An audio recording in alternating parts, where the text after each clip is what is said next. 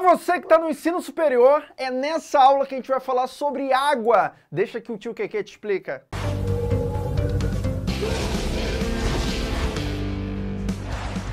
Deixa que a gente explica.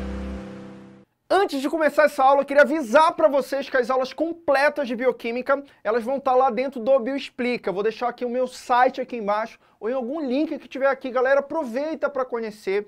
Eu vou deixar muitas aulas de ensino superior, já ajudei muito vocês. Mas lembra, o objetivo aqui é estar tá sempre proporcionando melhor para vocês e é o meu ganha-pão, né? Assim que eu sobrevivo, eu continuar produzindo aula. Então dá uma olhada lá, o preço muito legal, você tem direito ao ensino médio, ensino superior, tem material, tem muita coisa para você detonar na faculdade ou para você usar quando você precisar. Aproveita e conhece. Eu vou ficar por aqui e bola para vocês. Fala gigante, tudo bem com vocês, galera? Essa é a nossa aula de água. A gente vai começar a aula de água. Não vai ser apenas uma aula, tá, galera? Até porque eu não quero deixar essa videoaula ela muito extensa. E também eu quero ver ela de forma bem detalhada. Futuramente a gente pode fazer uma aula assim de resumo. A galera que está na plataforma, ela pode... Kennedy, eu estou desesperado por uma prova amanhã, então não vai ser essa aula. Você procura a aula de ensino médio que você tem acesso e na aula de água de ensino médio você vai ver mais diretão, só que infelizmente você não vai ver tudo, tá? Então aqui é objetivo para ser uma aula completa. Então a gente vai ter várias aulas, eu vou colocar na ordem. Ou você pode acelerar esse vídeo. Já assiste 2.0, assiste acelerado. Deixa eu sair da frente já para você bater aquele velho print, para quem gosta de anotar. Bora começar, galera. Aqui a gente, antes de começar a ver as funções, eu já vou ver a parte bioquímica, a parte química da, da água, tá? E a gente vai também para o que interessa, né? É claro que é interessante você ler o livro, é, o Leninger, tá? Vai para ler lá e tudo mais. Eu quero me aprofundar, quero estudar mais. Eu gosto de estudar a parte química. O Leninger tem os fundamentos lá para você estudar a parte química. Não tem problema nenhum.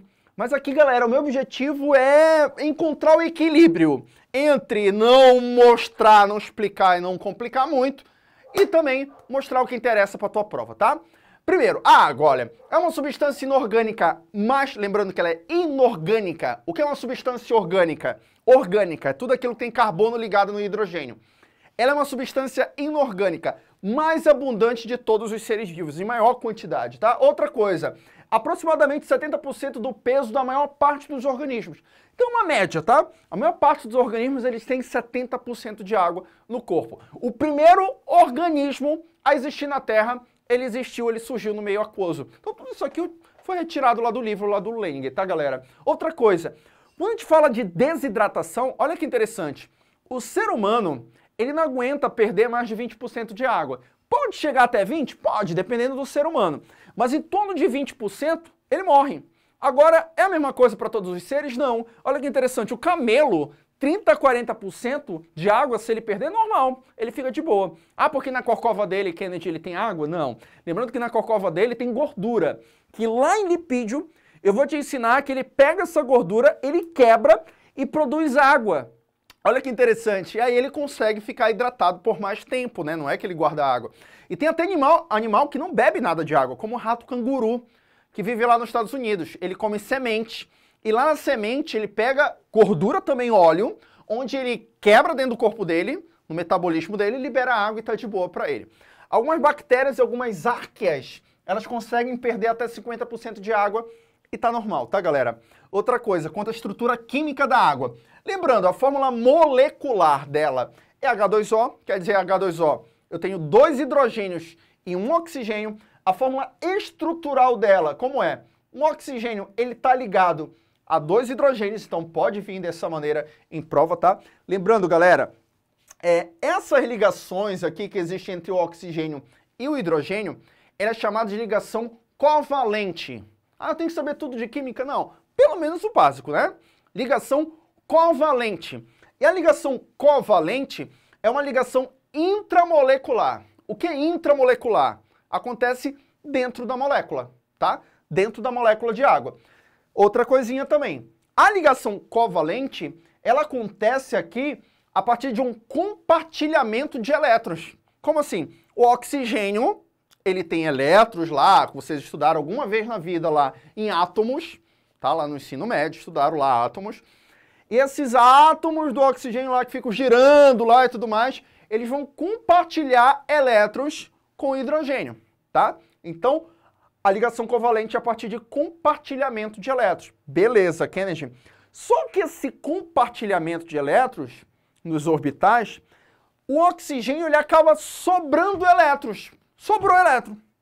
E fica para cá, olha, dois elétrons para cá, dois elétrons para cá. De novo, deixa eu ver se eu entendi. O oxigênio compartilha com o hidrogênio, eu tenho duas ligações, mas acabam sobrando elétrons. Como acabam sobrando esses elétrons aqui, a gente diz que a água, olha que interessante, ela tem como se fosse aqui ligações imaginárias, que elas vão ser importantes depois, tá, galera? A gente vai ver depois. Mas são ligações imaginárias. E a água, ela cria uma arquitetura que ela parece que ela tem quatro ligações. Parece, por causa desses elétrons sobrando aqui. Ela tem quantas ligações? Duas. Mas parece que ela tem quatro ligações. Lembrando, quem é aquele cara que tem quatro ligações que a gente já estudou alguma vez lá no ensino médio? É o carbono. Lembra que o carbono ele tem quatro ligações? E quando a gente tem quatro ligações, a gente chama de quê? De tetra. Tetra, lembra? Tri é três, tetra é quatro a gente chama de tetraedro. Então a água, ela pode ter, se cair em prova, uma arquitetura espacial de tetraedro. Olha que interessante. Porém, o carbono é um tetraedro perfeito, é o carbono, pô, é o carbono, quatro ligações. Se cair em prova, ele é perfeito. Enquanto que a água, ou tetraedro regular, enquanto que a água, ela não vai ser perfeita, é claro, né? Até porque é imaginária, né? Ela vai ser um tetraedro imperfeito ou irregular. Isso acontece também, se teu professor, acredito que ele não vai ser tão específico, mas isso acontece também porque lá no carbono existe um ângulo aqui na molécula de aproximadamente 109 graus, ponto 5, enquanto que aqui é 104.5, ou seja, é um ângulo menor. Então, como não é o ângulo igualzinho do carbono, não é perfeito. Vai ser o quê? Imperfeito. Beleza? Outra coisinha também, galera, que é muito interessante. A água, se a gente fosse lá na química calcular o NOx dela, olha que interessante. O oxigênio é menos 2. O hidrogênio é mais 1. Um, são dois hidrogênio mais 2. O NOx ia dar zero. Mas não é o que acontece. A água, na verdade, ela tem polos. E ela tem polo positivo e negativo. Só que a gente não diz que ela é polarizada. O mais correto seria... É, cai em prova polarizada também. Mas o mais correto seria parcialmente polarizada.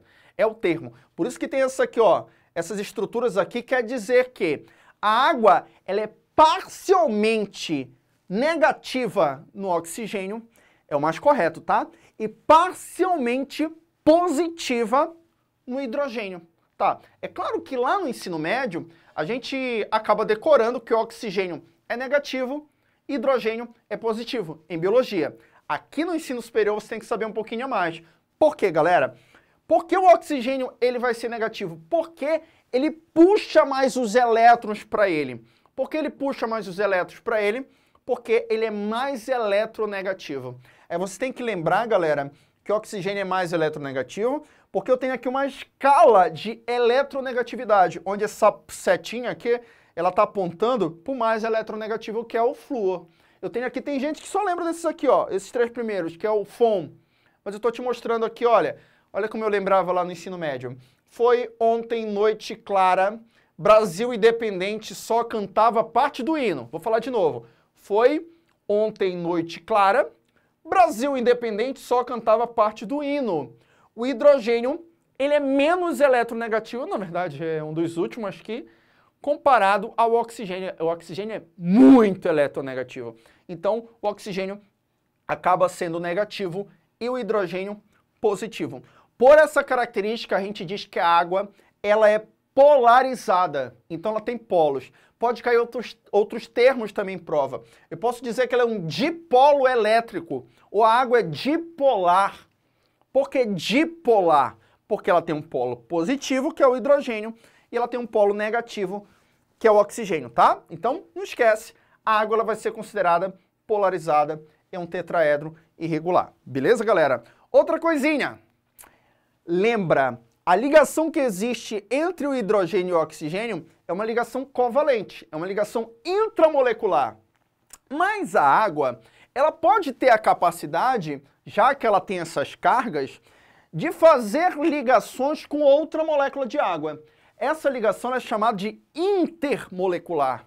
Inter vem de internacional, lembra de internacional? Tá no outro, internacional tá no outro. Então é entre moléculas.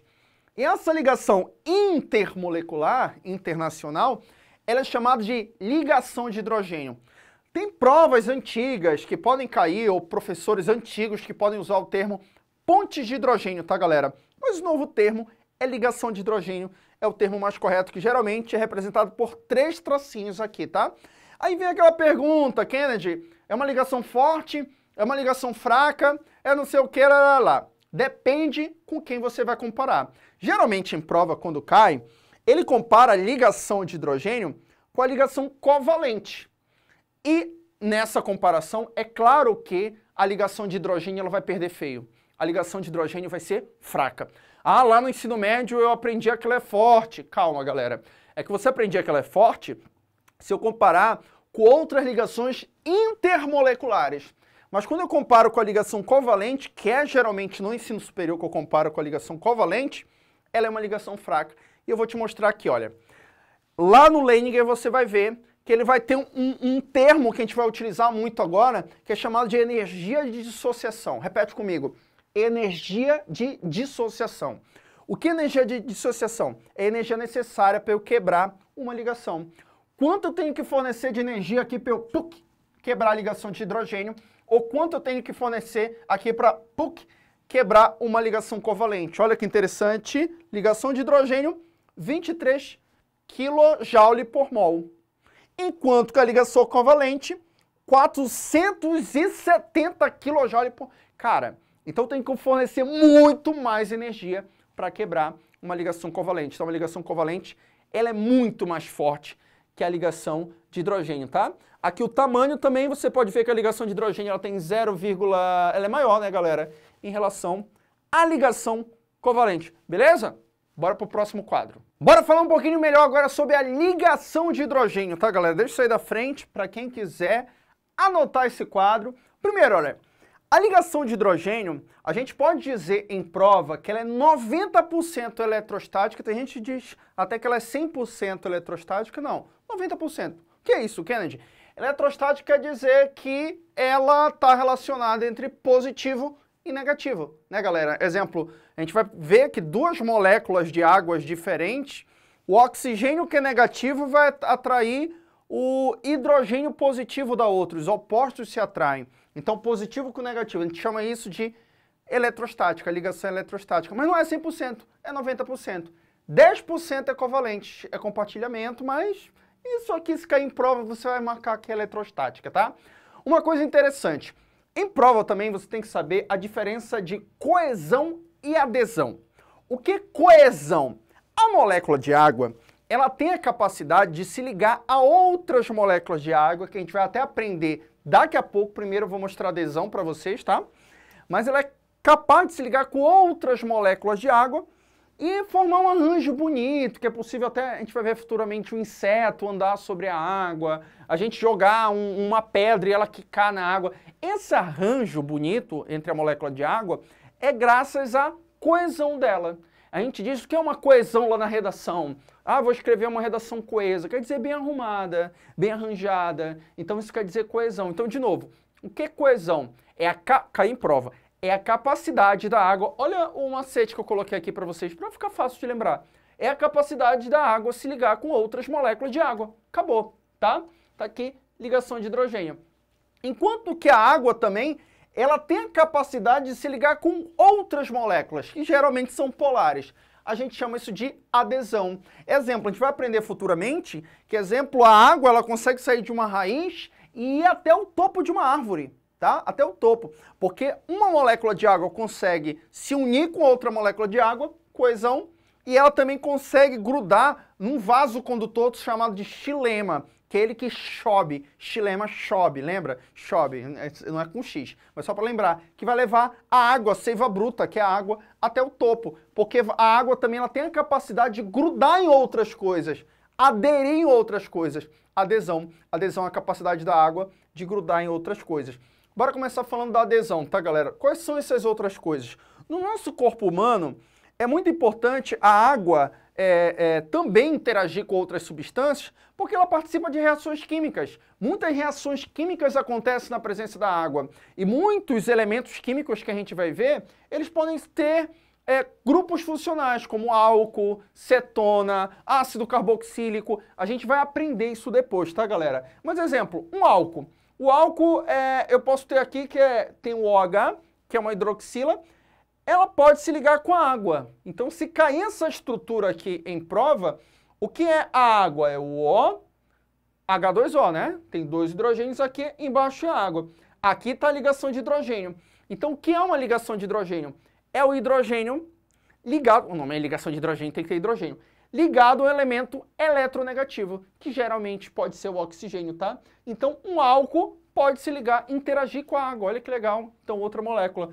Pode ser uma carbonila de uma cetona, um grupo funcional. O que é carbonila? É o C-O, é a carbonila de um grupo funcional chamado de cetona. Pode ser, galera, é a carbonila interagindo aqui, olha, com a água. Olha aqui, ó, oxigênio com hidrogênio é uma ligação. Então não é só água com água, pode ser água com outras substâncias, tá? Uma coisa interessante que eu queria mostrar também, que tem também lá no livro para vocês, que a ligação de hidrogênio, ela pode ser uma estrutura mais linear, reta, ou ela pode ter uma estrutura mais curvada, mais angular. E se teu professor te perguntar em prova qual é a ligação mais forte, a ligação de hidrogênio que é linear ou a ligação que é angular? A linear, tá galera? Linear é uma ligação mais forte. Outra coisa também que pode cair em prova.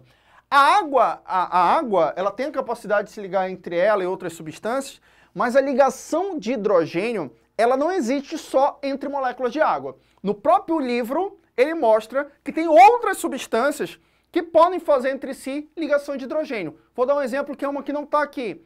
Exemplo, proteínas.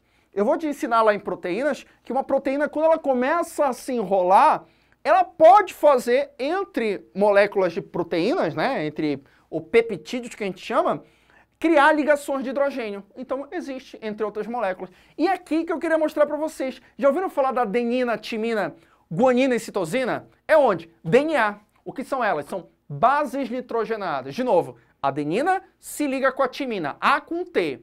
Guanina se liga com a citosina, G se liga com C. Lá no DNA. E olha que interessante, a adenina, que é uma base nitrogenada, ela se liga com a timina através de ligações de hidrogênio. E olha que interessante, a adenina e timina têm duas ligações de hidrogênio, enquanto que a guanina e a citosina têm três ligações de hidrogênio. Então o DNA tem ligação de hidrogênio também, tá, galera? Qual é a ligação mais forte? A com T ou G com C? É claro que é G com C, porque tem três ligações de hidrogênio, tá? Bora pro próximo quadro. Agora a gente vai estudar coesão, galera. Então dá uma notada nesse vídeo aqui, na verdade nesse quadro, e bora relembrar o que é adesão. Adesão é a capacidade da água se ligar com outras substâncias. Acabei de mostrar para vocês. O que é coesão? A coesão é a capacidade da água se ligar com outras moléculas de água. Lá no ensino médio, eu ensino para vocês que uma molécula de água, ela tem a capacidade de se ligar com quatro outras moléculas de água. Mas eu vou te mostrar que não é bem assim, tá? E por que isso é possível? Lembra que eu tenho quatro ligações aqui entre onde duas são aqui como se fosse imaginária, imaginária existe, né? Mas é, é, era como se fosse imaginária. Aqui eu tenho o hidrogênio dela se ligando com o oxigênio. Hidrogênio é positivo, oxigênio é negativo. Opostos se atraem. Lembrando, bora sempre relembrar, galera. A ligação de hidrogênio ela é uma ligação eletrostática. Ligação intermolecular e ela é eletrostática, 90% eletrostática, tá? Então tem aqui, ó, hidrogênio, oxigênio, mas o oxigênio ele tem mais aqui elétrons livres onde ele consegue fazer mais duas ligações. Só que isso aqui seria num plano perfeito. As quatro ligações perfeitas, elas só existem no gelo. Eu vou te mostrar de novo, as quatro ligações perfeitas, elas só existem no gelo. Mas tá aí, galera, como a natureza é perfeita. Olha como o mundo é lindo. Se tudo fosse perfeito, se tudo fosse a ligação perfeita, e se tudo fosse gelo, o nosso corpo ia ser congelado o nosso corpo não ia fluir as substâncias. E a, e a, e a característica fluida da água é muito importante. Por isso que no estado líquido, olha o que vai acontecer. A gente diz que a água ela não tem três ligações, mas ela tem 3.4 ligações ou 3.4 moléculas. Como assim, Kennedy? São três moléculas ou quatro moléculas? Na verdade, é que ela forma quatro e uma quebra. Ela formou quatro e outra quebrou. Então, formou daqui, tem quatro. Formou uma aqui, quebrou bem aqui. Formou aqui, quebrou aqui. Então, ela tenta formar quatro, mas toda hora fica quebrando uma. Isso é muito rápido, galera. Acontece entre 1 a 20 picosegundos. O que é? Quanto tempo é isso? Cara, é rápido. É muito rápido, tá? É muito rápido. E, esses, e essas quebras que a água ela, ela tenta se arranjar e quebra é que dá em temperatura ambiente a característica fluida da água. Senão, ela seria um gelo, tá? E a gente diz que como ela fica quebrando as ligações, é como se ela ficasse cintilando, oscilando. Por isso que em prova pode cair como agrupamentos oscilantes. Ou lá do inglês, flinker cluster, sei lá, não sei como é que fala. Mas tá, agrupamentos cintilantes, tá? E também, calma, com toda a calma do mundo, calma, galera, respira. A gente vai relembrar esses termos aqui. Como é que pode cair? Como é que o professor também pode cobrar em prova? Olha, Kennedy, a água ela quebra a ligação porque o que faz quebrar a ligação é uma energia que a gente chama de energia de dissociação. Bora tentar relembrar e você vai repetir comigo, a gente estudou antes. O que é energia de dissociação? É energia necessária para eu quebrar uma ligação. Lembra lá que eu falei? Comparei ligação de hidrogênio com a ligação covalente? A energia necessária para eu quebrar uma ligação se chama energia de dissociação. Só que olha que interessante, o próprio movimento da molécula quebra. A água não está em movimento? O próprio movimento movimentou a molécula, quebrou. E o movimento aqui para a gente, a gente vai dar um nome mais bonitinho a gente vai chamar de energia cinética. Ah, eu já ouvi falar isso na física, sim. O que é a energia cinética, se você quiser anotar aí? É o movimento das moléculas, tá? O movimento já quebra. Então, olha, a gente pode dizer que a energia de dissociação é igual ou mais ou menos igual à energia cinética. Movimentou, quebrou, movimentou, quebrou, movimentou. Então, de novo, porque a água ela quebra toda hora as ligações, porque a energia cinética é igual à energia de dissociação, tá? Por isso que a gente vai dizer que a água na, na fase líquida ela é desorganizada e ela tem um movimento contínuo, beleza? Outra coisinha, galera. A água, quando ela está no estado líquido, ela tem um movimento, concorda comigo? Para ela passar para o estado gasoso, o que, que você acha que tem que acontecer? Ela não tem que quebrar só uma ligação, ela tem que quebrar todas as ligações. Então você vai dizer, olha como é fácil, olha como a gente vai fazendo associações e é fácil pensar. Se no estado líquido ela tem um movimento, no estado gasoso, para eu quebrar todas as outras ligações, eu tenho que ter um maior movimento. Ou seja, você vai dizer que a energia cinética, ela aumenta. Então, do estado líquido para o estado gasoso, o movimento entre as moléculas aumenta, logo eu consigo quebrar tudo. O estado líquido para o estado gasoso é chamado de evaporação, tá, galera? Também pode cair em prova ebulição. Que tem diferença de ebulição para e, e, evaporação? As duas, tanto evaporação e ebulição, é líquido para o gasoso. Só que a evaporação a gente diz que acontece de maneira mais lenta. E a ebulição é mais instantânea. É mais quando você vai na panela, sabe? Na panela da tua casa, coloca para ferver água. Chegou aos 100 graus, já, é, já começa a ser de forma instantânea, quando está de forma de 100 graus.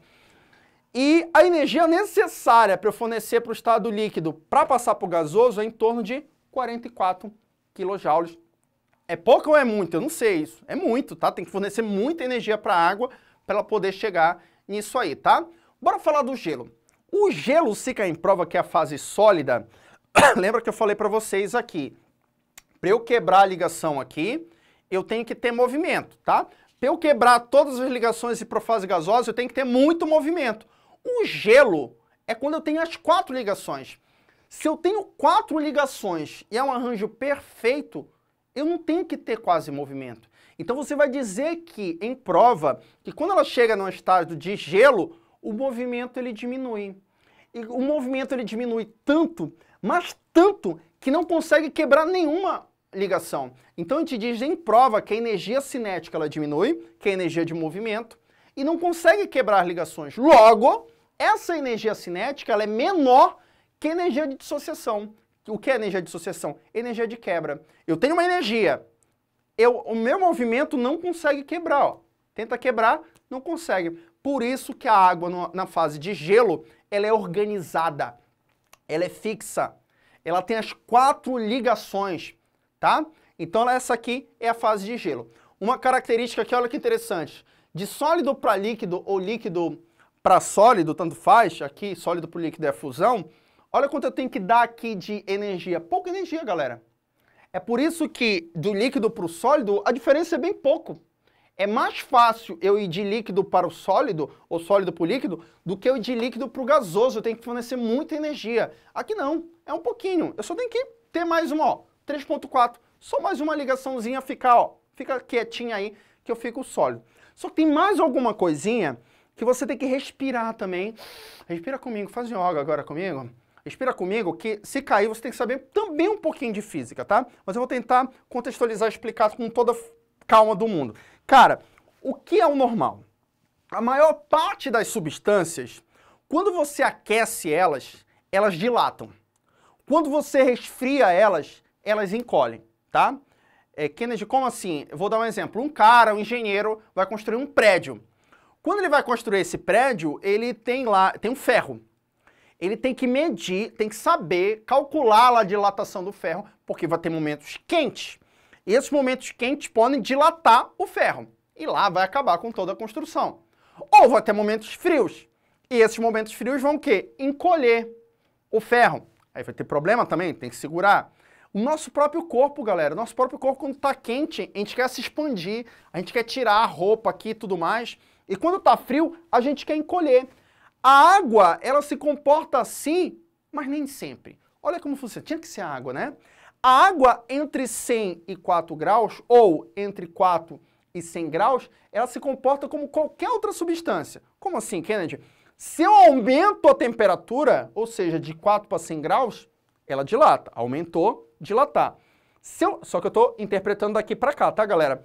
Se eu diminuo a temperatura, ela contrai. Então a água entre 100 graus, que é a temperatura lá de ebulição, que a gente vai ver depois, entre 100 graus e 4 graus, ela se comporta como qualquer outra substância. Ou seja, diminuiu a temperatura, eu contraí, diminuiu, contraiu. Mas olha que interessante, entre 4 graus e 0 graus, que é a formação do gelo, ela se comporta de uma maneira anormal. Quem prova pode cair como forma anômala. O que é esse termo anômala entre 4 e 0 graus? Quer dizer que em vez de eu vou esfriar, em vez dela contrair, que era o mais comum, ela expande. Kennedy, que viagem é essa? Vou dar um exemplo para você no dia a dia. Quem nunca colocou uma garrafa de gelo, de vidro, ou uma cerveja, bora falar cerveja, vocês já são adultos aí, sei lá, ou colocou uma cerveja no congelador. E, e você esqueceu. Só que a cerveja estava na forma líquida. Quando você vai buscar, putz, deve ter estourado. Por que deve ter estourado? Olha que viagem. Porque entre 4 e 0 graus, a água, quando eu resfriei, em vez dela encolher, ela expandiu. E como ela expandiu, acabou estourando a, a, aquele volume, tá? Então a gente pode dizer que a água, na formação do gelo, ela expande o volume, beleza? Só que olha que interessante, ela começa a flutuar. Nessa que ela começa a flutuar, aí o teu professor vai perguntar, por que ela começa a flutuar? Aí tem aquela velha, é, aquela velha história da densidade, galera.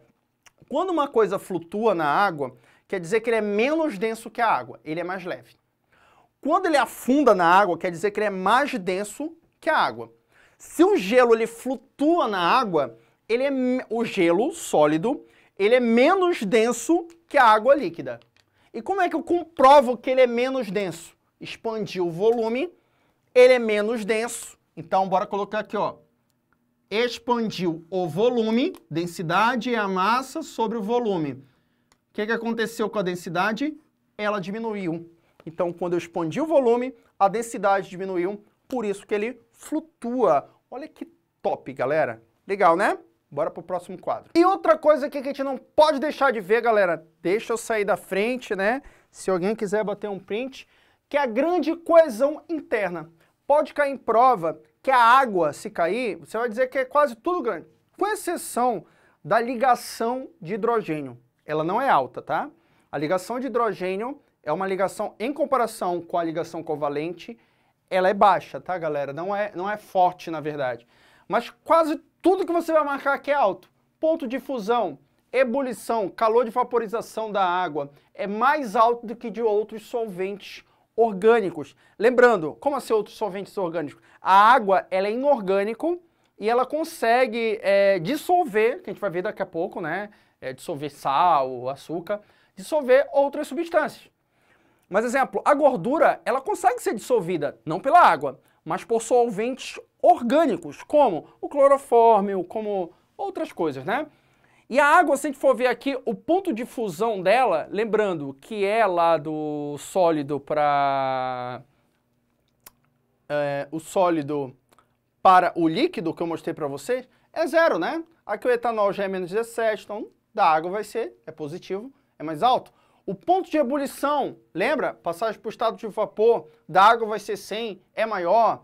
Até a energia de vaporização ela vai ser maior. Então a gente vai dizer que esses pontos tudo isso é por causa dessa coesão. A coesão da água é tão perfeita, tão perfeita, que ela acaba, devido a essas ligações de hidrogênio entre si, acaba tendo todas essas estruturas mais altas. Agora bora ver a última parte, que é a parte como solvente universal e calma. Eu sei que foi muita coisa que a gente já viu, tá? Primeiro eu deixo sair da frente para você parar esse vídeo bater um print, tá? A gente vai ver a parte, eu sei que é muita coisa, você pode anotar se você quiser, se você tem dificuldade, eu recomendo, em toda a bioquímica. E é por isso também que a gente vai dividir essas aulas em outras aulas. A gente vai quebrar, vai dar uma parada, depois a gente vai para outra aula para você poder assistir com calma, tá, galera? Para não parecer que é muita coisa, eu sei que é muita coisa. Eu tô vendo de forma detalhada, não quero enganar vocês. Então a gente tá vendo aqui tudo que é necessário, tudo que pode cair em prova. Se você tá dentro do site, já tem as aulas aqui tudo bonitinha para vocês. Se você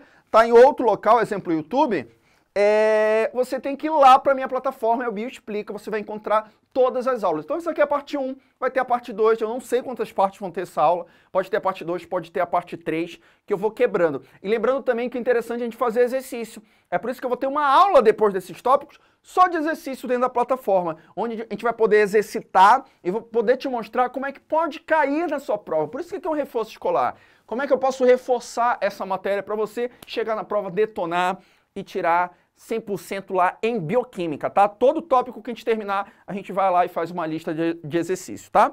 Bora ver agora água como solvente universal. Muita gente pode dizer, Kennedy, lá o professor de química fala que água não é o solvente universal, porque tem outras substâncias que atuam como solventes melhores que a água. Mas lembra, galera, a gente está falando de processos biológicos. Então, dentro dos seres vivos, quem vai atuar mais é a água. Então não adianta eu falar que o clorofórmio, o não sei quem mais, lá, porque dentro do nosso corpo é água. Então quando a gente fala de solvente universal, é um solvente universal biológico. Outra coisa, a água, cuidado, ela é polar e é inorgânica. Então pode cair em prova que ela é um solvente polar inorgânico. Existe solvente apolar orgânico? Existe. Mostrei no quadro anterior, exemplo, clorofórmio. E semelhante dissolve semelhante. Como a água é polar, ela é polarizada, ela vai, ela vai dissolver uma substância polar. A gente vai estudar futuramente que uma gordura, ela não consegue ser dissolvida pela água. Por quê? Ela é apolar. A na biologia quer dizer não. Ou seja, não tem polos, não tem cargas e tudo mais. Mas a gordura consegue ser dissolvida, não pela água, mas por outra substância semelhante a ela, como o clorofórmio. Olha que interessante, que ele é apolar e orgânico, semelhante dissolve semelhante. Então, existe sim solventes orgânicos e solventes apolares. No caso da água, ela é polar e é inorgânico, tá, galera? Toda substância que é dissolvida pela água, a gente pode dar um nome chamado de hidrofílico. Filo quer dizer amigo, hidro quer dizer água. Então, são dissolvidos na água. Daqui a pouco a gente vai estudar que uma substância como o óleo, que não consegue ser dissolvido pela água, é chamado de hidrofóbico. Fóbico quer dizer fobia, aversão, ou seja, tem aversão à água, tá? Então, hidrofílico é aquela substância que é polar. O grande exemplo, galera, é, dos livros e até lá do Leninger é o sal de cozinha. Então, quando eu vou pegar, exemplo, o NaCl, tá? Onde o NaCl, o sal de cozinha, é o sódio e eu tenho aqui o cloro, né? Então, tenho aqui o sódio e o cloro. É, ele é cristalino. Mas quando eu pego ele eu jogo na água, lembrando que ele é o soluto, a água se comporta como solvente e quando eu misturo os dois, vira uma solução. Essa solução, como eu coloco o soluto, ele some aos nossos olhos e eu não consigo diferenciar mais quem é soluto e quem é solvente, a gente dá um nome para isso aqui. A gente chama de mistura homogênea. Homogêneo porque tudo fica igual, tá? Eu não consigo ver mais. Mas por que isso acontece? A gente vai ver agora o quadro é, com toda a calma do mundo, tá, galera? Primeiro, o que, que vai acontecer aqui? A gente diz que a água, ela consegue separar o sódio do cloro ela consegue fazer o que a gente chama de blindagem efetiva. Olha o que tem lá no livro. Blindagem efetiva. Ela consegue blindar, ela consegue circular, separar os dois e ficar ao redor dos dois. Qual é o nome que a gente dá? Blindagem efetiva. Mas por que isso acontece, Kennedy? Olha que interessante, galera. O sódio, quando ele é separado do cloro, o sódio tem carga positiva. Ele é chamado de cátion ele é um íon. Lembra lá da química? Íon. Cátion é o positivo.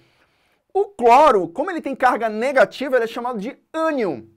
Então, como esses dois aqui eles tinham uma interação, e lembrando, quando tem interação positivo com negativo, qual é o nome dessa interação que a gente chama? Eletrostática. A gente diz que a água, olha o que ela fez, ela enfraqueceu essas interações eletrostáticas entre os dois. Então, de novo, ela faz uma blindagem efetiva e ela enfraquece as interações eletrostáticas positivo e negativo entre os dois. Outra coisinha também interessante, como o cloro aqui ele é negativo, é claro, quem vai circundar, vai blindar aqui o cloro, vai ser o lado da água positivo. Positivo com negativo, oposto se atrai, que é o hidrogênio.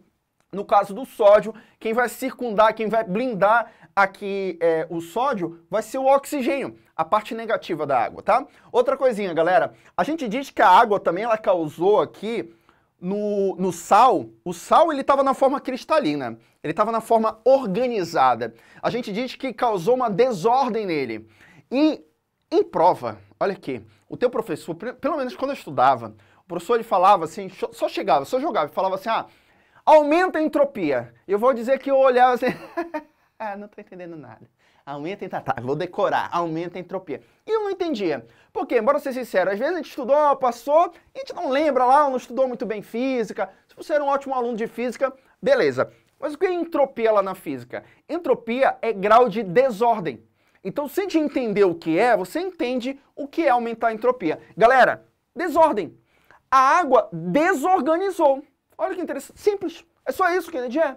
E desorganização é sinônimo de entropia.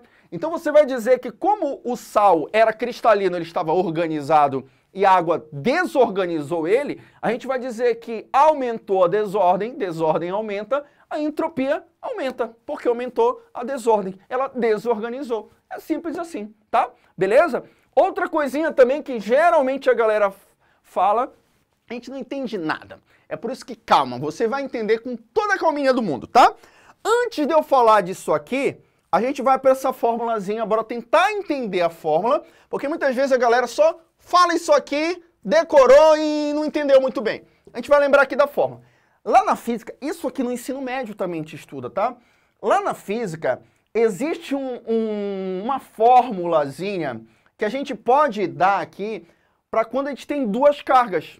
Exemplo, uma positiva uma negativa, duas cargas em determinado meio. A gente pode dizer que tem uma carga Q1 uma Q2, e entre elas existe uma força. Olha aqui, olha, uma força. Essa força ela pode ser grande, essa força ela pode ser baixa, tá? Tá. Tudo, e lembra de fórmula, galera? Tudo que tá aqui em cima, olha, tá no mesmo plano aqui em cima, tá vendo? A gente diz que é proporcional, ou seja, se eu aumento a carga, aumenta a força. Se eu aumento a carga, vai aumentar a força entre elas. E tudo que está aqui embaixo é inversamente proporcional. Vou dar um exemplo. O que, é inverso? O R. O R é a distância. Concorda comigo? Se eu aumento... E a distância ainda é o quadrado. Se eu aumento a distância, vai diminuir, é inversamente, né? Se eu aumento a distância, vai diminuir a força entre elas. Se eu encosto mais elas, ou seja, eu diminuo a distância, aumenta a força, porque elas vão ter mais interação entre elas. Então é inversamente proporcional. Beleza, aqui eu já entendi o que é essa parada aqui, é, beleza. Onde é que a água entra nisso? Nessa fórmula aqui, além de carga e distância, que é o R, poderia ser o Dzinho, mas tudo bem, existe uma constante, que a gente dá um nome é, para essa constante chamada de constante dielétrica. Só repete comigo. Qual é o nome dessa constante? É chamada de constante dielétrica. O que é uma constante dielétrica, Kennedy? É o número de polos em um solvente. Ou seja, quantos polos um solvente ele consegue ter. No caso, a gente está falando da água aqui. A gente diz que a água ela tem muitos polos. Se ela tem muitos polos, a gente diz que ela tem uma constante dielétrica alta. E é cerca de 78,5, né? Só para você saber mais ou menos. A constante dielétrica dela é alta. Bora tentar entender isso aqui pela fórmula primeiro? Cara, se a constante, bora colocar aqui, se a constante dielétrica da água, por ela ter muitos polos, é alta, o que, que vai acontecer com a força entre as cargas aqui? Vai aumentar ou vai diminuir? Vai diminuir, olha. O teu professor ia ficar pasmo se você explicasse dessa fórmula, de, dessa forma aqui na fórmula, galera. Então, assim, quando um solvente ele tem uma constante dielétrica muito alta, a interação que acontece entre as cargas, ela diminui. É por isso que a água ela consegue quebrar muito facilmente a interação entre o sódio e o cloro. Se eu tivesse outro solvente, exemplo, clorofórmio, e a constante dielétrica dele fosse baixa, porque ele tem poucos dipolos, no caso de polo positivo ou negativo, poucos, ele não ia conseguir quebrar facilmente, tá? Então a água, basicamente, ela consegue quebrar facilmente isso, porque como ela tem muitos dipolos positivos e negativos, até porque ela é bem abundante, ela consegue diminuir a força entre elas, tá? Então, a água, se cair em prova, ela tem uma alta constante dielétrica, tá? Em prova, muitas vezes, o professor ele tenta contextualizar para deixar mais simples para você uma frase. Eu sempre escuto isso aqui no superior também. Fala assim, é mais ou menos assim a constante dielétrica. Não grudem entre vocês. A água pede assim, ei, não gruda entre vocês, gruda em mim. É melhor grudar em mim do que grudar entre vocês.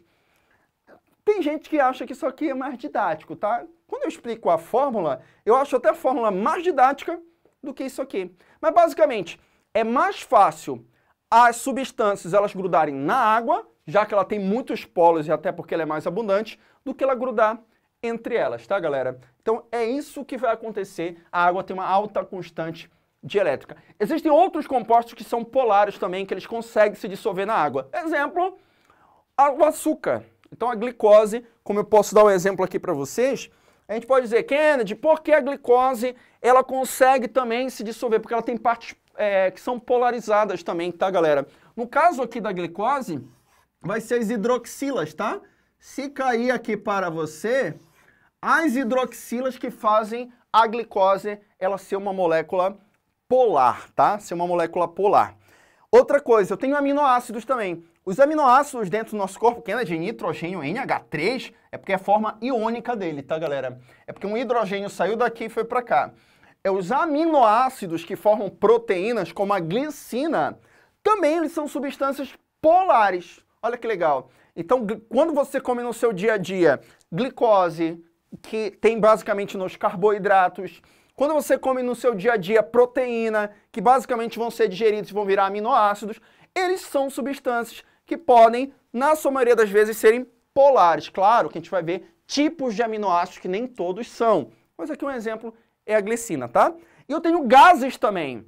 Gases que são considerados polares. Quem são os gases que são considerados polares? Conseguem. No caso aqui eu tenho amônia. No caso aqui eu tenho monóxido de nitrogênio. Monóxido de nitrogênio.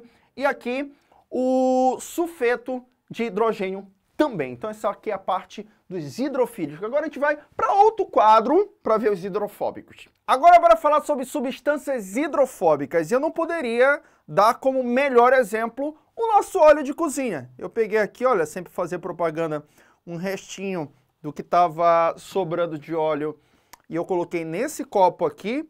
Eu acho que dá para ver se a câmera foca, melhor visualizar. E eu peguei aqui a nossa água eu vou te mostrar o que vai acontecer aqui, tá, galera? Para você, deixa eu ver aqui, para você visualizar, deixa eu ver se a câmera foca. E depois eu vou te explicar isso aqui bioquimicamente. Então, só dá uma olhada para ver o que vai acontecer. Você vai perceber que primeiro vai formar umas bolinhas e depois essas bolinhas elas vão se agrupar, tá? Então, bora dar uma olhada aqui, ó. Bolinha, olha que lindo. Bolinhas. Percebeu que formou essas bolinhas? E se você for percebendo, deixa eu colocar aqui, essas bolinhas, ainda tem bolinha, tá? Mas com o tempo essas bolinhas elas vão deixar de existir. Claro, teria que ficar mais tempo aqui, ficar, sei lá, é, um minuto, dois minutos, três minutos. É claro que o óleo está em cima porque ele é menos denso que a água, né? E essa, essa aqui é uma solução. A gente pode perceber que o óleo ele não se dissolve na água e cuidado, ele se mistura na água. Se mistura, só que ele não se dissolve na água. Por que ele se mistura? Porque isso aqui é uma mistura. Só que isso aqui é uma mistura heterogênea. A gente viu lá a mistura homogênea e aqui é uma mistura heterogênea. Onde eu tô, tenho aqui que o óleo é menos denso. Deu para perceber? Agora, Kennedy, por que primeiro formou aquelas bolinhas e depois, olha, com o tempo, com o passar do tempo, se a gente for mexer aqui, ele vai ficar só na parte de cima. Ele aglomerou, percebeu? Ele aglomerou, ficou só em cima. Por que isso aconteceu? Agora vou explicar o que aconteceu, embora começar a falar de substâncias hidrofóbicas. Deixa eu sair da frente, para quem gosta de bater aquele print ou anotar e tudo mais. Galera, ao contrário de uma substância ou um composto hidrofílico, um composto hidrofóbico é aquele que tem aversão à água. É aquele que tem fobia à água. Fobia é, é, vem de aversão, tá? É, não se dissolve na água. Agora, cuidado. A água, ela se mistura no óleo? Sim, porque misturar é diferente de, de dissolver, tá? Até porque aqui o óleo com a água é uma mistura heterogênea. Heterogênea porque tá misturado, mas eu consigo diferenciar o que é óleo, o que é água. Só que não dissolve, tá? Por que isso acontece? Bora explicar aqui de maneira mais simples. É porque o óleo é apolar e a água é polar. O óleo, ele não tem polos, tá? E não consegue fazer interações com a água. Ou seja, interações eletrostáticas. Não consigo ter, não tem aquela parada lá do positivo e negativo. Não tem como acontecer aqui. Quem são as substâncias ou gases apolares? Apolares é quem? CO2, oxigênio. Olha, vai ser muito interessante a gente estudar futuramente lá uma fisiologia, onde for estudar a parte de célula, e eu vou te mostrar que o CO2 e o oxigênio dentro do nosso corpo, eles são substâncias apolares. E eu vou te mostrar como é que ele é difundido. O CO2, por sinal, na verdade, por um lado, carbono oxigênio, ele tem até polaridade, mas para o outro tem também que acaba se anulando, então ele acaba sendo uma molécula apolar sem carga, tá? CO2, oxigênio, nitrogênio, que é um gás que a gente não consegue absorver, então quem são os gases apolares? CO2, oxigênio e nitrogênio, e o lipídio, que é uma substância orgânica, tá, galera? É o mais famoso de todos. Bora entender como é esse experimento aqui, o que aconteceu nesse experimento. Eu, com certeza, se fosse professor de bioquímica de vocês, já começaria a fazer esse experimento é, é, em sala, né? Que foi o experimento, você vai perceber depois de um certo tempo. Olha como ficou aqui o copo. Já ficou bem organizado, sem nenhuma bolinha. Sem nenhuma bolinha. Mas o que foi que aconteceu? Já mostrei esse experimento e eu dividiria esse experimento para vocês em etapa 1, etapa 2 e etapa 3. Na primeira etapa, você percebeu que eu joguei o óleo e formou algumas bolinhas, não foi? Foi primeiro bolinha. Depois dessas bolinhas, elas começaram a se organizar, demorou até um tempo, ficou na parte de cima porque o óleo ele é menos denso que a água, mas demorou um certo tempo, eu até percebi aqui que ficou aqui um minuto, dois minutos, até ficar totalmente aglomerado que foi na etapa 3. Agora, por que isso aconteceu? Por que primeiro formou bola para depois formar é, esse aglomerado? Sabe por quê, galera? A água, tentando explicar de maneira mais simples, ela tentou uma interação com o óleo. Ela chegou com o óleo, ei, óleo, bora tentar uma interação? Ela tentou, mas não conseguiu, tá? Bora ver o que aconteceu na etapa 1. Quando eu joguei o óleo na água, o óleo, a primeira coisa que ele fez foi romper ligações de hidrogênio. Então a água está lá, estava com as ligações de hidrogênio dela lá, o óleo chegou logo rompendo a ligação de hidrogênio. Só que não é compensado isso, porque ele não consegue formar outras ligações com a água. Lá no sal, sim. Lá no sal é compensado. Porque se o sal, se eu chegar e jogar o sal é, na água e chegar rompendo as ligações de hidrogênio na água, a água vai adorar o sal. Por que vai adorar o sal? Porque ela vai conseguir se ligar no sal. Ela vai conseguir, claro que às vezes tem que dar uma mexidinha, né, galera? Ela vai conseguir se ligar no sal porque ela consegue fazer interação com ele, já que é uma molécula polar com outra molécula polar. A água não. E pelo contrário, a água vai ter mais trabalho com óleo. Olha o que vai acontecer aqui, rompimento de ligação, mas não compensado, pois não é formado ligação de hidrogênio com óleo. A água, como ela ainda quer fa fazer ligação de hidrogênio, ela começa a ter mais trabalho em começar a formar ligações ao redor do óleo. Olha, então tem um trabalho muito grande aqui. Então, caramba, eu vou ter que fazer entre cada bolinha, eu vou primeiro tentar interagir com ele, não vou conseguir, e entre cada bolinha, claro que eu mostrei só duas bolinhas, que eles primeiro me explica esse, esse esquema aqui que você fez. Galera, eu estou representando esse aqui no meio, é como se fosse o óleo. Eu estou mostrando carbono e hidrogênio, carbono e hidrogênio, só para representar que o óleo ele tem muito carbono e hidrogênio. Quanto mais carbono e hidrogênio tem uma substância, mais apolar ela é, tá? Esses azulzinhos aqui seria a água que eu desenhei e esses tracinhos aqui seriam as ligações de hidrogênio, tá? Só para tentar explicar para vocês. Essa aqui seria uma bolinha, essa aqui seria outra bolinha. Então a água vai começar a ter um trabalho aqui de tentar se organizar ao redor de cada bolinha. E ela não consegue interagir com óleo.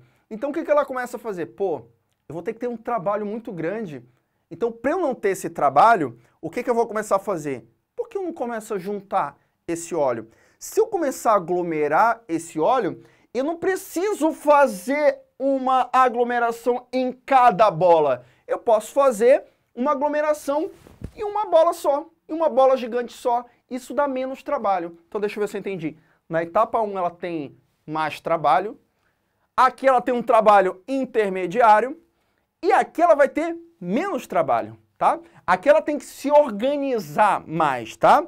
Bora ver o que vai acontecer na etapa 2. Etapa 2, a água força, força entre aspas, tá, galera? O óleo a se agrupar. Dessa forma, a superfície de contato entre o óleo e a água é menor. Então ela vai agrupando, olha aqui que vai acontecer aqui. Ela vai agrupando, vai agrupando, até fazer, só para simular que isso aqui é uma bola, isso aqui é outra bola, coloquei só três bolas, tá galera? Mas imagina que são muitas bolas que elas foram agrupadas e a água diminui a superfície de contato entre ele e faz uma só, é, um só círculo. Assim, ela não precisa ter tanto trabalho para fazer para cada bola, tá? Já que o óleo não consegue interagir com a água. Só que tem uma coisa que é, o aluno ele confunde, eu vou ser sincero de novo com vocês. Quando eu estudava bioquímica, o professor falava e eu só decorava. Eu não entendia nada, não entendia, porque ele chegava aqui e ele falava que ao longo desse sistema aqui, a entropia ela aumenta. Aí eu chegava de novo aquela cara lá de, entendi, vou decorar, se cair na prova, fazer a prova só para decorar, só para passar, tô nem aí, só quero estudar para passar, entropia aumenta, vou decorar, mas o objetivo da gente aqui não é decorar. Primeiro, o que é entropia? Entropia, na verdade, galera, se você for estudar lá na física, não é algo tão simples e ela não quer dizer apenas desordem, tá? Só deixando bem claro, ah, o Kennedy não estudou direito, não. Só deixando bem claro. Eu vou trazer é, é, como sinônimo de desordem para cá, para ficar mais simples para gente. Tudo bem? Então, de novo, o que é entropia? Cara, se você ainda não entendeu, anota em algum canto. Entropia é igual, para ficar mais fácil aqui para gente, uma desordem. Então, é o que eu falei. Entropia é quando algo está desorganizado. Só que olha o que vai acontecer. No óleo, aqui, a água teve que se organizar. E organizar é o contrário da entropia. Então aqui vai diminuir a entropia e não é favorável para uma reação diminuir a entropia. Então deixa eu ver se eu entendi. Como aqui teve uma organização, a água ela teve que se organizar, aqui pelo menos no começo, diminuiu a entropia, porque teve uma organização.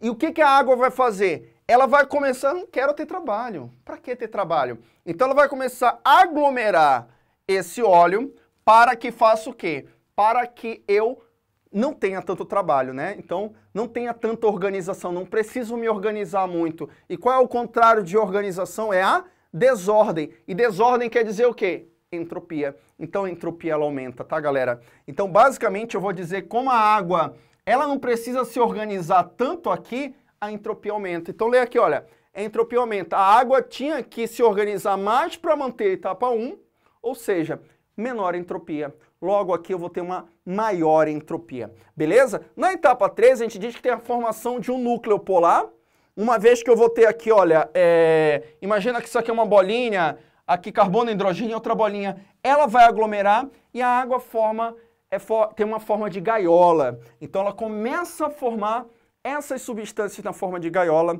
e assim ela diminui a superfície de contato com a substância. Então, já explicando, foi isso que aconteceu. Calma, que juro que eu estou terminando, tá, galera? Bora falar agora de moléculas anfipáticas. Bora sair da frente. Kennedy, o que, que é isso? Cara, hidrofílico é aquele que é amigo da água. Polar, polar, beleza. Hidrofóbico é aquele que não é amigo da água, ou seja, é apolar e a água é polar, beleza.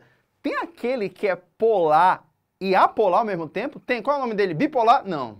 O nome dele é anfifílico, ou um novo nome você vai encontrar em muitos livros como anfipático, tá? O novo nome é anfifílico, tá, galera? O termo anfi na biologia quer dizer dois, né? Tô aqui, exemplo, anfíbio, olha, anfíbio. Bio é vida, bio é vida. Anfi é dois. Anfibio é aquele cara que tem duas vidas, uma aquática, uma terrestre. Então você vai escutar muito esses termos anfi, anfi quer dizer dois. São substâncias que elas podem ser polares e apolares ao mesmo tempo e me dá um exemplo na prática do meu dia a dia. Eu vou dar um exemplo. Você tem uma panela e essa panela lá tá, você fez comida, ela tá cheia de gordura, você usou óleo lá para fazer a comida e você deixou um tempo lá, aquela gordura lá grudou.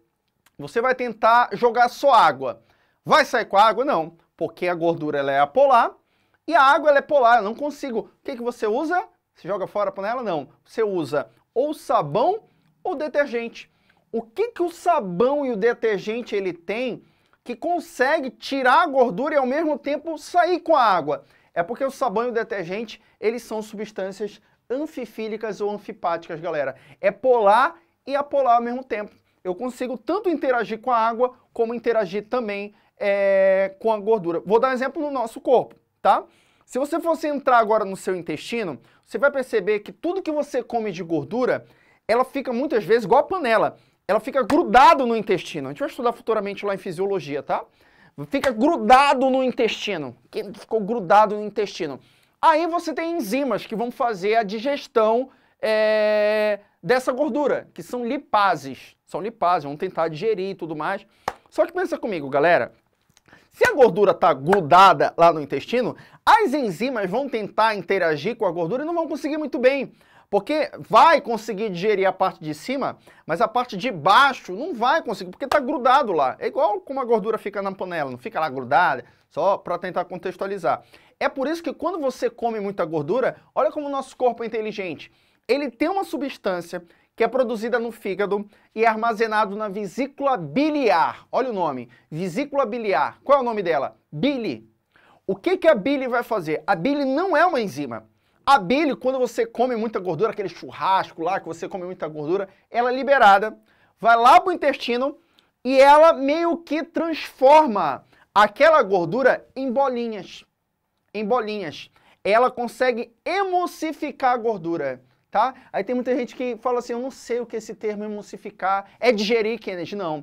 A Big, ela não é uma enzima, mas ela vai facilitar a vida das enzimas. Lembra lá, galera, que é Antes lá, quando eu joguei, joguei lá o óleo, ele era bolinha e ele começou a se estabilizar e ficar aglomerado só na parte de cima, a bile faz ao contrário. Transforma aquela parte é, organizada, transforma em bolinhas. Mas, na verdade, a bile atua, sabe o quê? Como um detergente. Lá vai eu tentar mostrar de novo, através de experimentos, como é que funciona. Então, é, imagina que esse detergente que eu peguei aqui, que eu tirei para não fazer a propaganda, ele é como se fosse a bile no nosso corpo, tá, galera? E eu vou aproveitar, claro, para a gente não jogar fora, eu vou aproveitar esse copo que está com água e está com óleo aqui, tá? Então eu tenho óleo aqui e tudo mais. A água, ela é polar e o óleo é apolar. O que, que o detergente ele é? O detergente é uma substância anfifílica ou anfipática, ou seja, ele é os dois, polar e apolar. E quando eu jogo o detergente, o que, que começa a acontecer? Kennedy, o que, meu Deus, estou jogando muito detergente. O que será que vai começar a acontecer aqui? Deixa eu tentar aqui mexer. O que será que vai começar a acontecer aqui? Bora ver. Maior cagada aqui. Depois eu vou mostrar quando estabilizar. Claro que tinha bastante óleo também, né, galera? Você pode perceber que é basicamente o que vai acontecer quando a bile ela é liberada lá no teu intestino. Cara, ainda continua óleo aqui em cima. É claro que eu tenho uma grande quantidade de óleo. Mas você percebeu que ele foi também... Ah, mas porque você mexeu, Kennedy. Eu posso deixar o mesmo tempo aqui que eu tinha deixado da agora. Eu vou deixar. Mas você percebeu que eu tenho óleo aqui embaixo agora. E quem foi que permitiu isso? Ah, se eu jogasse mais água, isso ia acontecer? Não. Se eu jogasse mais óleo, isso ia acontecer? E se eu mexesse? Não. O óleo de novo ia aqui em cima. Por que eu tenho óleo agora aqui embaixo? Porque o detergente, ele conseguiu fazer aquele papel de polar e apolar ao mesmo tempo. E isso facilita a vida das nossas enzimas, galera. E assim as enzimas, elas conseguem digerir, não esse óleo que está aqui em cima, tá vendo? Que ele ainda está difícil, eu tenho que jogar, vou lá, é, é, a vesícula biliar, ela vai lá, joga mais, ah, não consegui digerir isso aqui, vai lá, joga mais detergente, que é bile mas ela vai conseguir digerir essa parte que está aqui de baixo, esse óleo que está aqui na parte de baixo. Deu para entender? E é por isso que a gente consegue também tirar mais facilmente de uma panela. Por que a gordura? Porque o detergente ele é polar e apolar. Agora bora para o último quadro, prometo para vocês, de sair da frente, então já bate aquele print. Para quem gostar, gosta de anotar, tá galera? E para quem ficou até agora, já vou lançar uma praga para quem está do outro lado. Não sei se vocês gostam da minha praga. Minha praga é, quem está assistindo esse vídeo agora, até agora, vai tirar 10 em bioquímica, vai tirar vai tirar nota máxima em bioquímica. E galera, lembra, o objetivo é sempre estar tá fazendo resumo, assistir, se não der para assistir todo o vídeo de uma vez, beleza. Mas meu objetivo aqui não foi enrolar, meu objetivo é ser completo, tá? E explicar com calma para vocês. Não adianta também só indo.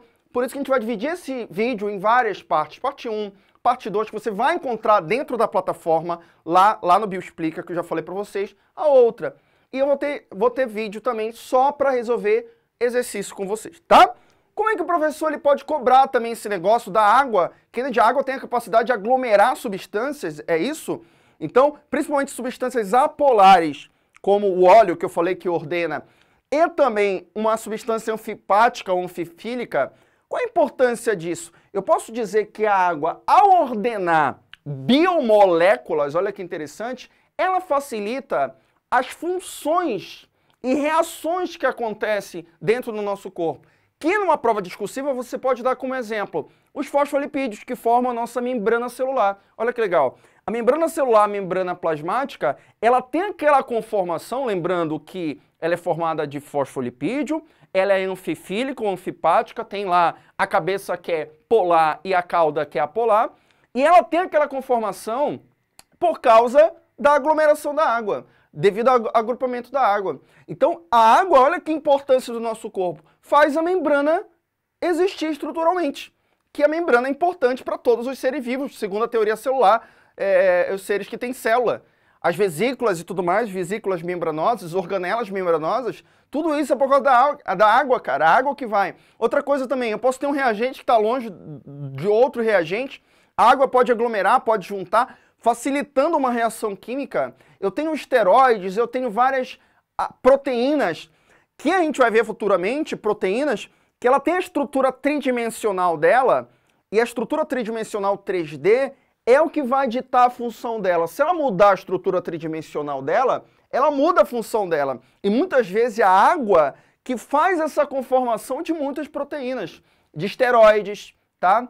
É, dentro do nosso corpo. Então isso é muito importante. Mas o exemplo que eu vou te dar, que é o exemplo que eu coloquei aqui no quadro, já dei vários exemplos, mas o exemplo mais clássico que você vai encontrar no Leninger é a aglomeração, ordenação de enzima substrato, galera. Vocês que já estudaram alguma vez na vida, vocês já viram que a gente tem uma enzima, tá? E essa enzima ela vai atuar sobre determinado substrato. A gente tem várias enzimas do nosso corpo. Enzimas digestivas, a gente vai ter aula de enzima, tá? Enzima digestiva, enzima que vai fazer reações. E o nome da substância que ela vai atuar é chamado de substrato. Quando tem a água aqui presente, principalmente se aqui é uma estrutura anfifílica, anfipática ou apolar, a água ela vai se ordenar. Lembra, a água primeiro se organiza ao redor dessa substância. Lembrando que eu já estou falando aqui como você vai explicar em prova, tá? Ela se organiza, só que essa organização é muito custosa, é, exige muita energia para ela ficar nesse aspecto aqui, tá? Exige muita energia. E aqui o que, que vai acontecer? Sinônimo de organização, quando está organizado, quer dizer que a entropia está baixa. Lembrando, entropia é o contrário de organização. Que, que a água vai fazer? Vai tentar juntar essas substâncias. Ao juntar, eu aumento a entropia, eu aumento a organização, a, a desorganização, né? Desorganiza entropia, aumenta a entropia, aumenta a desorganização. E com isso eu faço uma enzima e um substrato aqui se encaixarem. A gente sabe que a gente vai estudar modelos de encaixe futuramente é, de enzima e substrato, mas primeiro que a gente tem que saber, essa interação aqui de biomoléculas, como exemplo enzima-substrato, que é muito interessante para o nosso corpo, é graças a essa aglomeração, essa ordenação que a água ela pode fazer. Olha que lindo, galera. É muito lindo esse processo biológico. Eu vou ficando por aqui e eu vou aguardar vocês numa próxima aula. Não desistam, tá? É, o meu objetivo aqui é ajudar muito vocês. Eu sei que é complexo, o meu objetivo é preparar bastante vocês, alto nível, explicando com calma. E mesmo assim, às vezes, pode é, ser difícil, porque bioquímica, se você entender, você já está na frente de muita gente que bioquímica é o bicho de sete cabeças para muita gente. E eu estou aqui, na verdade, para ajudar nesse famoso vilão que é do ensino superior, tá? Vou ficando por aqui. Beijão, até a próxima aula. Tchau, tchau.